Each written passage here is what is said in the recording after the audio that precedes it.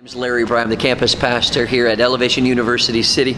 We've been meeting for the past three and a half years at the University City YMCA. It's been a phenomenal relationship where we set it up and we tear down the campus every weekend and we meet actually in, in a gymnasium at the YMCA. Uh, but the biggest we can grow there is to about 700 seats in the auditorium.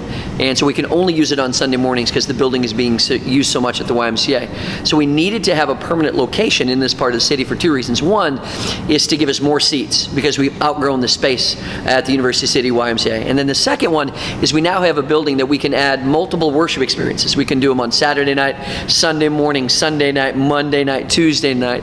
So we're excited about the opportunity that this gives us uh, to increase our capacity to reach more people in the University City area. Uh, this is a mural for the this is the E-Kids area. So the green is for the safari, which is like the youngest kids. Then as it goes around the corner, it's purple for the quest, and then as it comes back down, it's uh, blue for motion.